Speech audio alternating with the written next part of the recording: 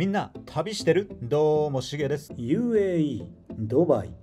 これが世界一。それではスタート。UAE のアブダビからドバイにバスで到着。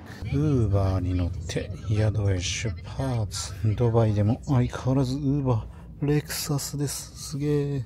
本日の宿アロフトアルミナに到着。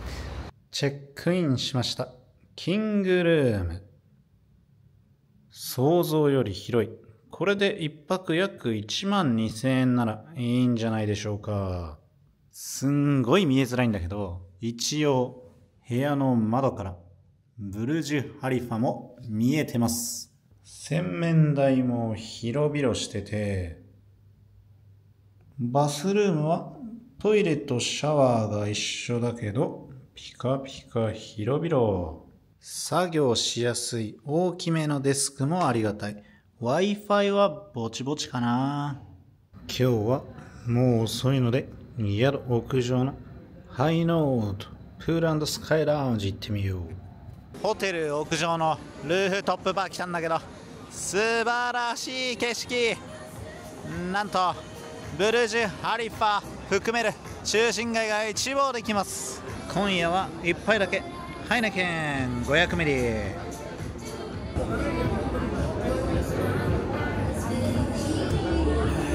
しっかり冷えてる。ドバイの夜景を見ながら飲むビールはうまいね。つまみにチキンティカピッツァを頼みました。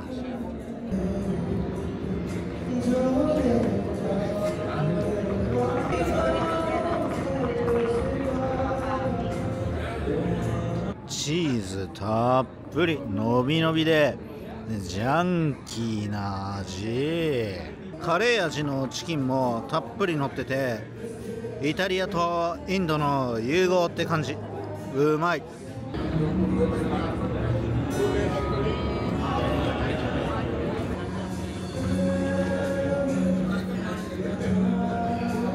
チーズ多すぎて後半はかなりもたれした。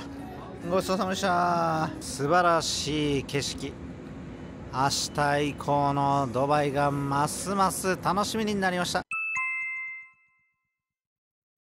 明日は引き続きのんびり編集します。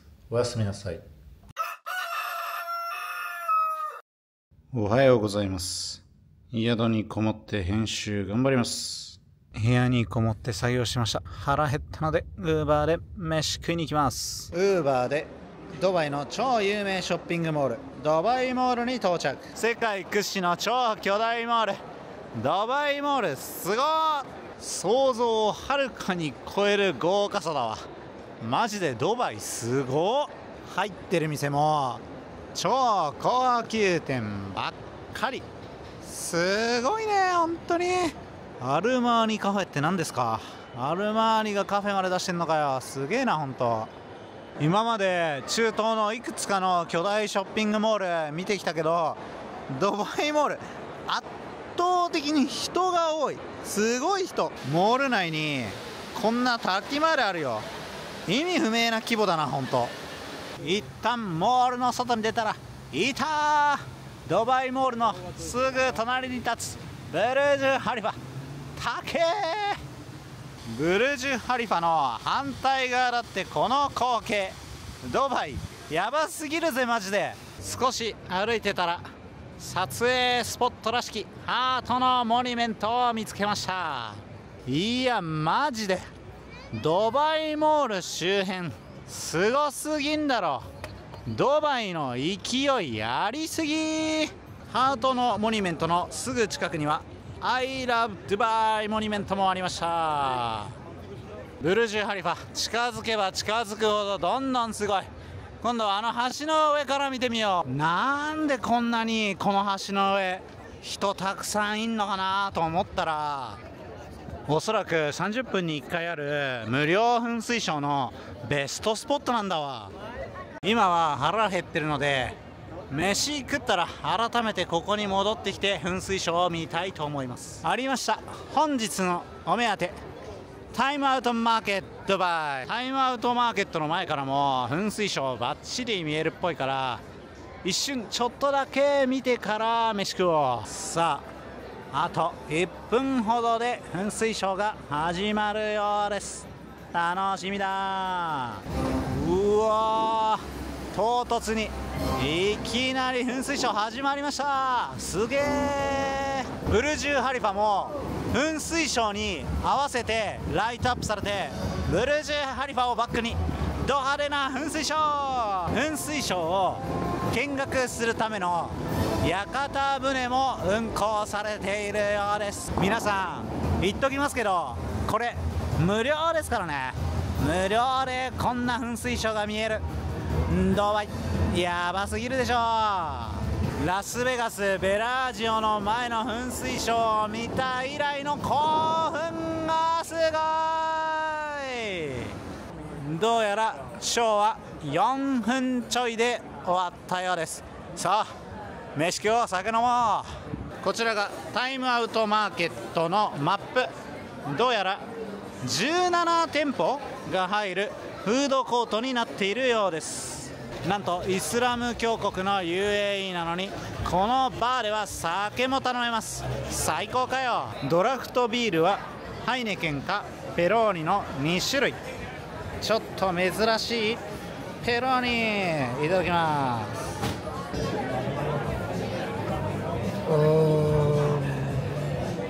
グラスもビールもキンキンに冷えてて最高中東料理店があったのでここで飯買います。中東料理食いながら酒飲めるって実は結構熱い展開。コールドメッツェアソートメント中東風前菜の盛り合わせ。すげえ量だった。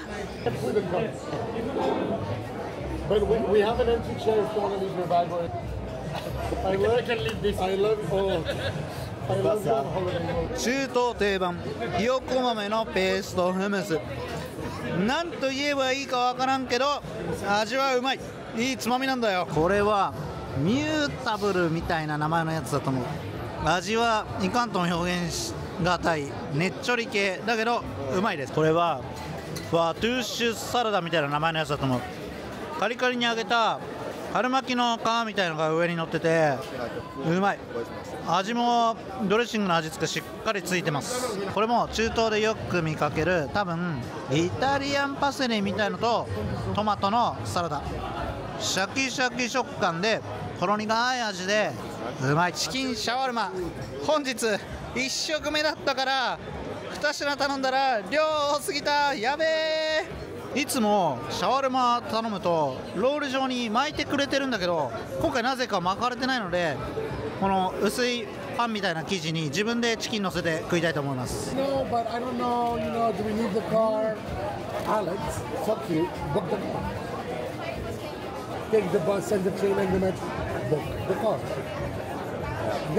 ケバブと同じように吊るし焼きにした肉をそいだシャールマ。いつ食ってもうまい、oh,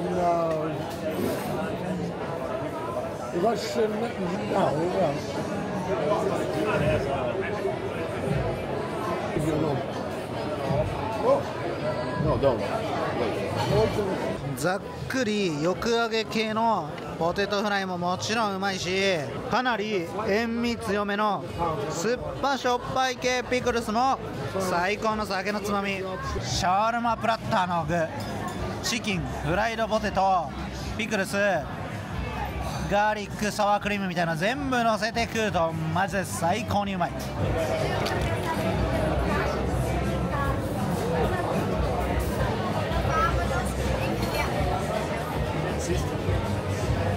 2杯目は気分を変えてハイネケン。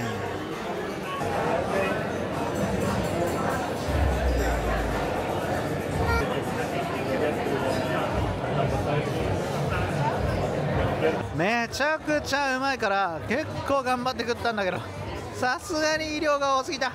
ごちそうさまでした。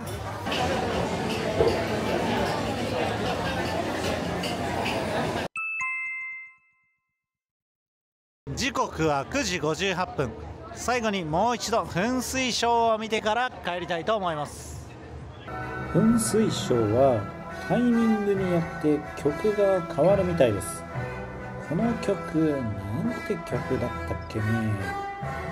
運動会とかで聞いた気がするな。曲に合わせてまるでダンスしているかのような噴水は世界で最も高く噴射されるらしく最高で約140メートルにも達するそうです。何もかもすげえ。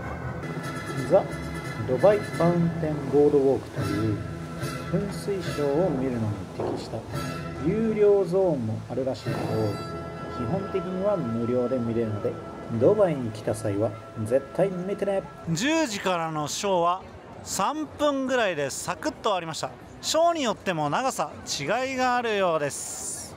橋の上はちょっと高さがあって見やすいけど人気だから少し前に来て場所を確保した方が良さそうだね。ショーが終わった後のドバイモール。皆さんショーを見にたくさん集まってきてるんですかね。すごい人の数だ。宿に帰る前に洗濯に行きます。今回もまたしてもレクサス。到着しました。247ロンドルマート。洗濯乾燥それぞれ4台ずつ。比較的綺麗で支払いはこのマシンからクレカでできましたウォッシュ25ディルハム1000円。続いて乾燥30ディルハム。ようやく洗濯終わったのでウーバーで帰ります。今回はなんとテスラ。ということで今夜も無事宿に帰ってきました。明日はドバイモール周辺をプラプラする予定。おやすみなさいおはようございます。10時12時17時はドバイモールまで宿からシャトル出てるということで乗っていきたいと思います。12時のシャトルに乗ってドバイモールへ出発。多分駅だと思うんだけど謎のモニュメントがありました。無料シャトルバスで今日もドバイモールに到着。早速ブルージュハリファが見えてきました。昼のブルージュハリファもいいね。ドバイモールを歩いてたらなんとダイソーがありました。ダイソー頑張ってるね。さすがに100均ではなくて7.5ディルハムって書いてあるからだいたい300円ですね。昨日噴水ショーを見た橋の上。昼間も来てみました。昼間のブルージュハリファ。すげえ高い。やっぱりすごい。ブルジュハリファの根元の方まで来ると見上げるのがもう首痛くなります。映画館の最前列パターン。ドバイはいろんな国の料理が食えるぞってことで今回はイタリアン行ってみようかな。ギア。噴水が見えるテラス席もあるみたいだけど昼間はさすがに暑いので中に着席昼なので飲み物はスパークリングウォーター。ていうかそもそもこの店酒は飲めないっぽいけどね。まずはパスタの前にお通しのパンが来ました。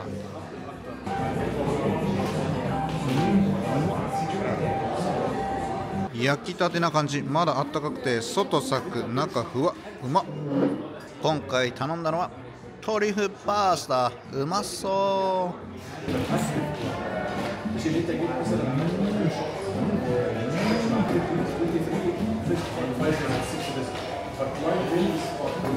パスタはプリンもちっとした食感でめっちゃうまい。ソースもすごい濃厚でさらにチーズと上に乗ったたっぷりのトリュフ。の香りが素晴らしい。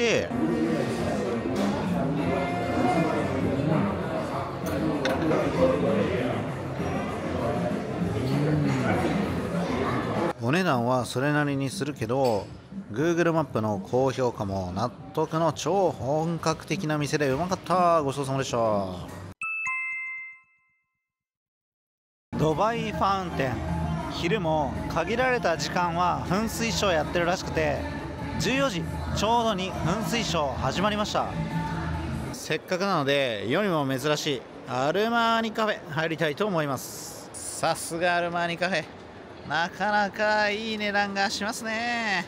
シャネルフェンディディオールなど数々の高級ブランドを見ながらアルマーニカフェでエスプレッソをいただきますドバイモールの w i f i も爆速で素晴らしい。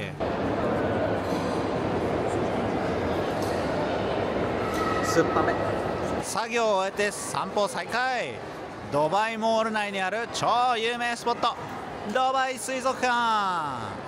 なんと今見えているこの水槽に関しては入場料を払わずとも無料でモール内から見ることができます見てこっち側の方がもっとでかかった。この超巨大な水槽を無料で見ることができます。一時期世界最大だったというこの水槽。現在は世界最大ではないそうですがそれでもめちゃくちゃでかいね。目の前サメが泳いでいたり巨大なエイみたいなものも泳いでますね。見たことのないでっかい謎の巨大魚もちっちゃいマンタみたいのもゆらゆら泳いでますね。まるで空を飛んでるみたいだ。水槽なのに魚の群れまで形成されてますね。海の中覗いてるみたいだ本当ワンフロア上の2階から見下ろした水槽もすごいね。無料水槽の前に人がびっしり。そして実は水槽だけじゃなくて水槽の上にある超巨大なこのディスプレイも。すんごいよ。無料水族館を堪能したのでまたモール内をプラプラして。6時からブルジュ・ハリファの展望台アット・ザ・トップを予約しているのでモール内にあるアット・ザ・トップの入り口から入っていく。結構並ぶかもって聞いてたんだけど今回はガラガラのようです。今回はスカイラウンジに行ける高いチケットを買ったのでほんの少しの時間待機した後エレベーターに案内されました。チケットは124階、125階に行ける通常チケットの他に148階まで行けるスカイチケットや152階、3階、4階のラウンジにも行ける超 VIP チケットもあるようです。チケットの値段は種類のほか日時によっても異なるようなので詳しくは公式サイトを直接確認してください。スカイラウンジチケットを買った人にはこのスカイビップシールが渡されて優先的に入場できるようです。ラップトップノートパソコンは荷物検査で弾かれて持ち込み不可なのでクロークルームに預けなければなりません。注意。ようやくエレベーターに乗車。77秒間で125階に到着するそうです。125階からさらにすぐ乗り継いで148階へ。148階の展望台に到着。景色を楽しもう。うわー見て噴水ショーが行われるドバイファウンテンももちろん一望できます。さすがにすごいな。とんでもなく高いからかなり遠くまで見えるね。こちらは夕日が落ちる西側。また後ほど見に来よう西側はちょっと反射して見にくいけど何から何まですごいドバイが見渡せます。この大通りに沿って高層ビルがずらーっと並んでるんだね。さすがに世界一の高さ828メートルのブルジュ・ハリファから見る景色は格がちげえ。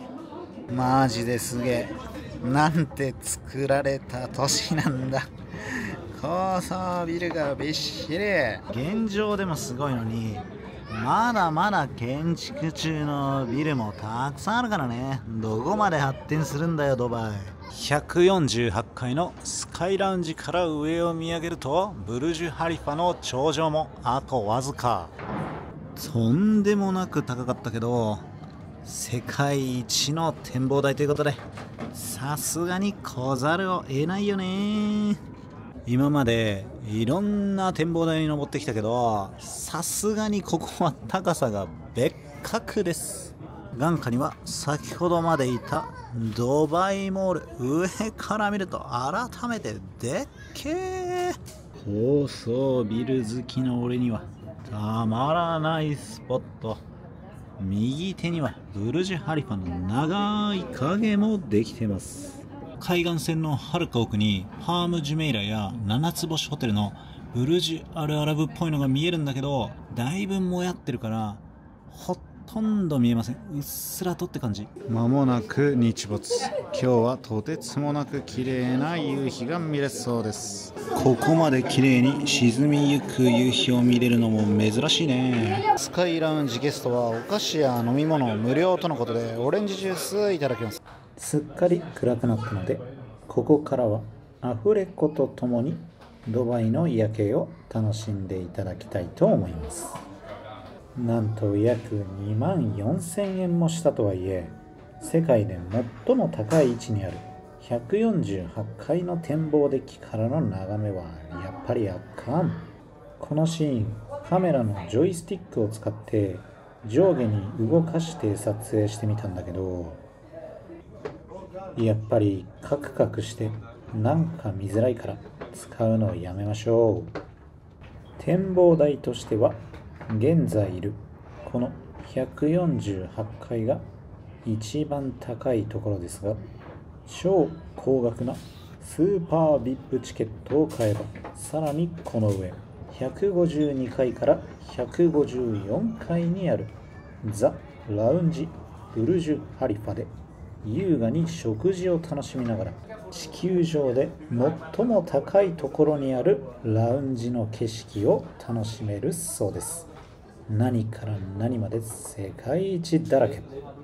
ちなみにブルジュはアラビア語でタワーという意味。なのでブルジュ・ハリファはハリファタワーということになるそうです。1245階も自由に出入りできるらしいので景色を比べてみよう。十分堪能したので次は125階へ。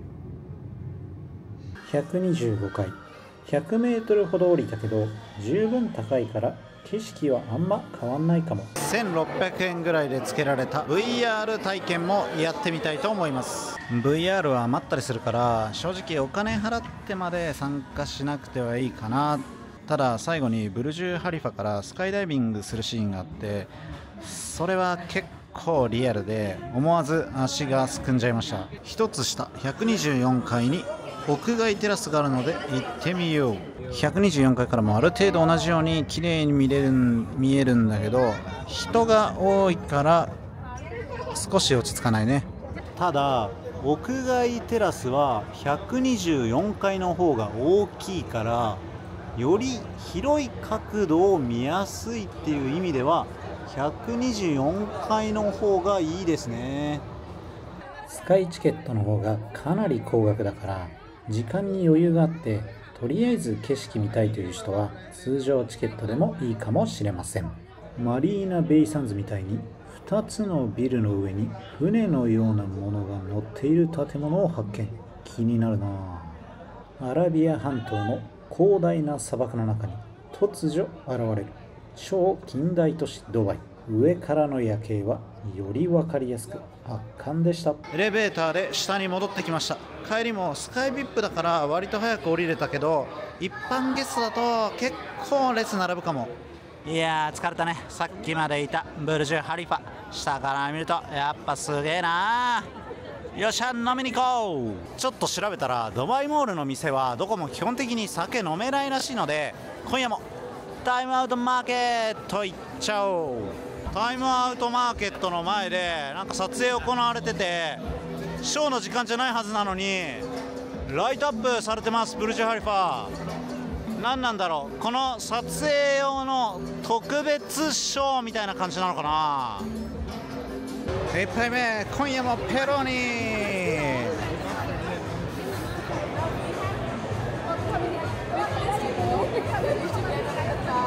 相変わらずキンキンに冷えてて最高です。注文。シーフードも食べたいぞってことでここでカキも注文。まずはドバイローカルだというオイスター3個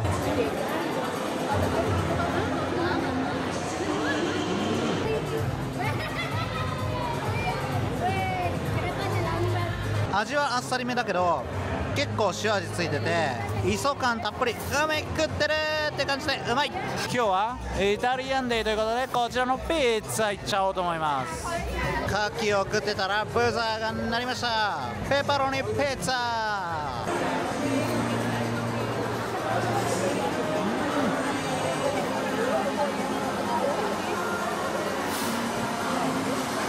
生地は薄めでカリカリザクザク系。ペパロニとチーズの味が濃くて濃厚でめちゃくちゃビールが進む系ピッツァ。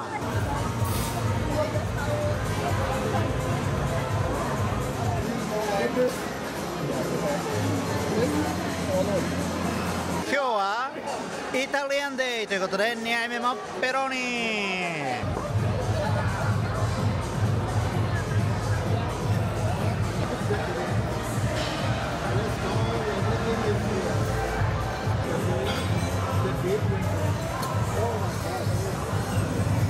ピザ。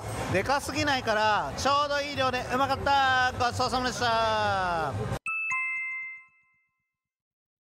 いやーうまかった。イスラム教国の酒飲むのが難しいドバイでは本当貴重な場所です。少し離れてみるとやっぱり圧倒的に高いのが分かるね。すげえなブルジュ・ハリファウーバーに乗って宿に帰ります。またしてもレクサス。左側に有名なドバイフレーム。明日行けたら行こうと思います。ということで今夜も無事宿に帰ってきました。最後は再び宿のルーフトップバーで一杯飲みます。スペイン・バルセロナのエストレラダム。パイントで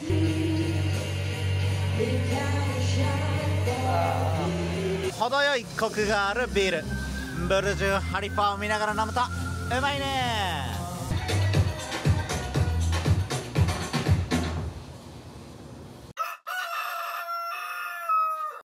おはようございます。宿で少し編集します。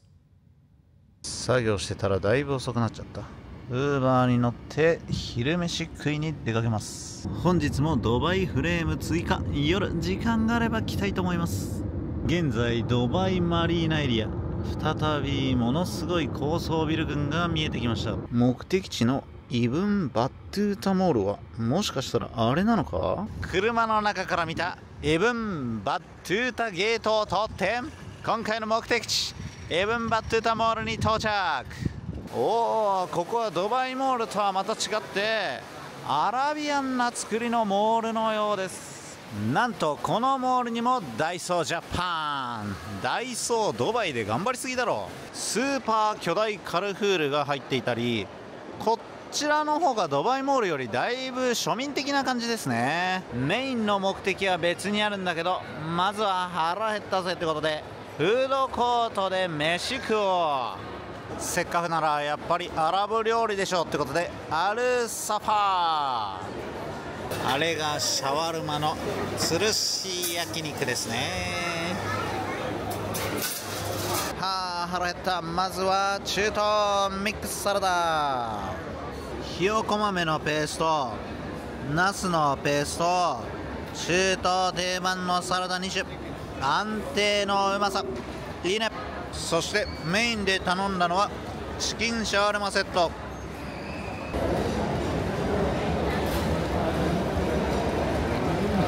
サクッパリの薄い生地の中にチキンがたっぷり詰まってて安定のうまさ。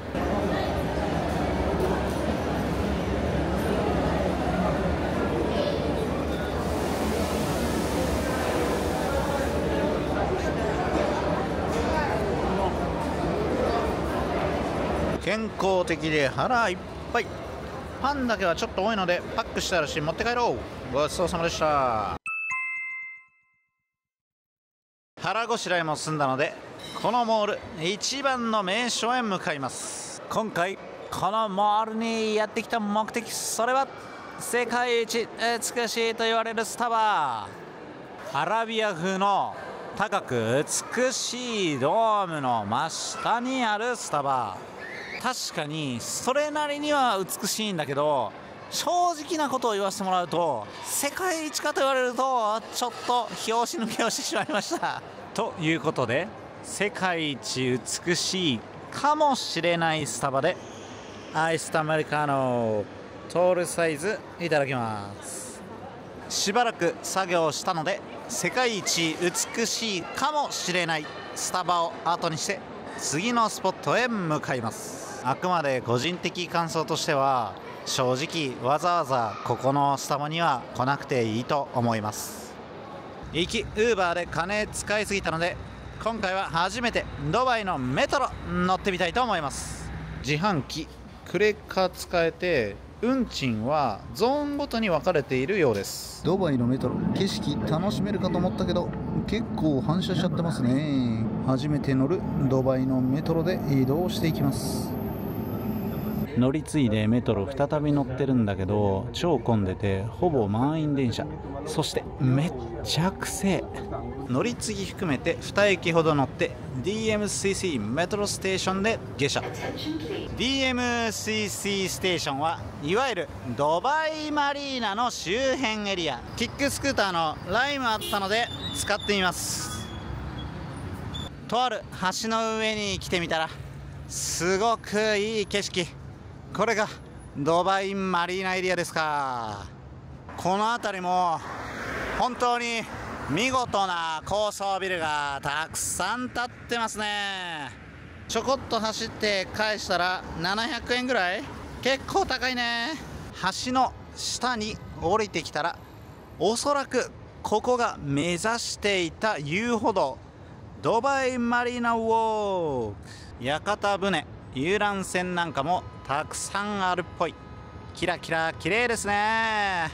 ここで改めてライムを借りてみたいと思います。遊歩道沿いはすごく走りやすいからこの景色を見ながら気持ちいいね。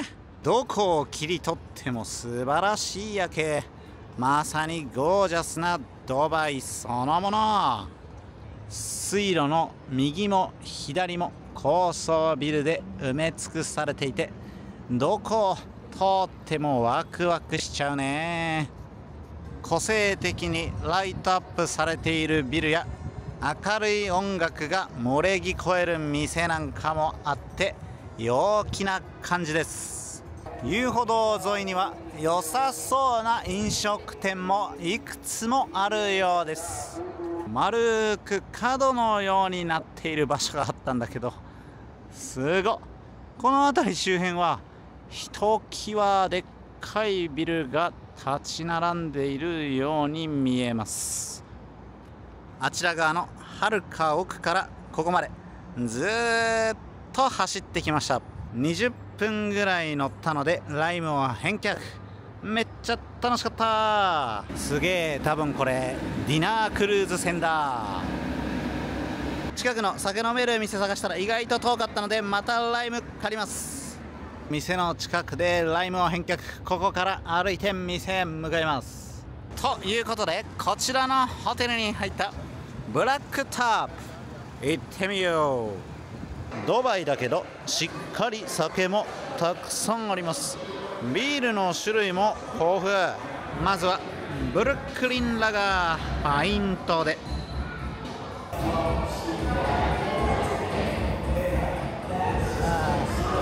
久しぶりのブルックリンラガいい感じに柑橘系が効いて苦くない IPA みたいな味でうまい!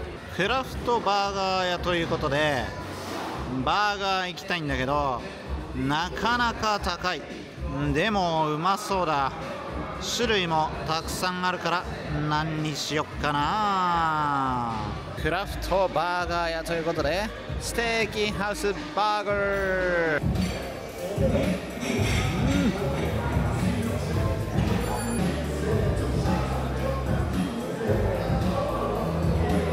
マジでくっそうめんだけど。パティが肉肉しすぎる。激うまバーガー。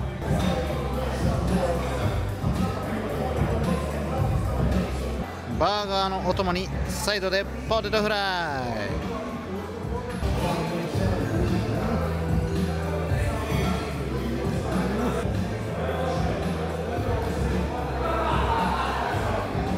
太めのポテトは揚げたてて外サク中ホクでめちゃくちゃうまい。ここ全部うめじゃん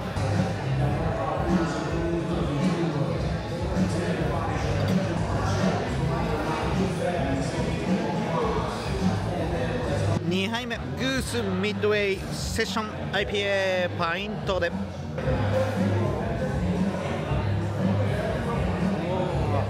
柑橘系の香りも苦みも控えめで爽やかで軽めの IPA うまい。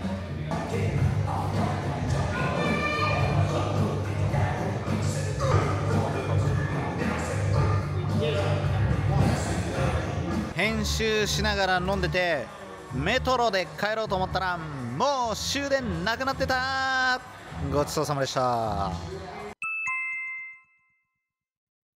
ということでちょっと割高にはなっちゃうけどウーバーに帰ります。今回はホンダオデッセイ。今日も元気にドバイのダウンタウンが近づいてきました。ドバイマリーナ周辺もすごかったけどやっぱりドバイのダウンタウンもすごいな。そして出ましたブルージュ・ハリファ。やっぱり高い。828メートルは打定じゃありません。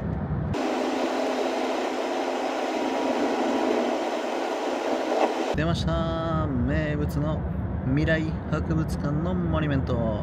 左手には結局時間がなくて行かなかったドバイフレーム。ということで今夜は無事宿に帰ってきました。編集してたんだけどようやく終わってアップロード開始しました。今回はここまで。次回ドバイの7つ星ホテルに泊まります。お楽しみに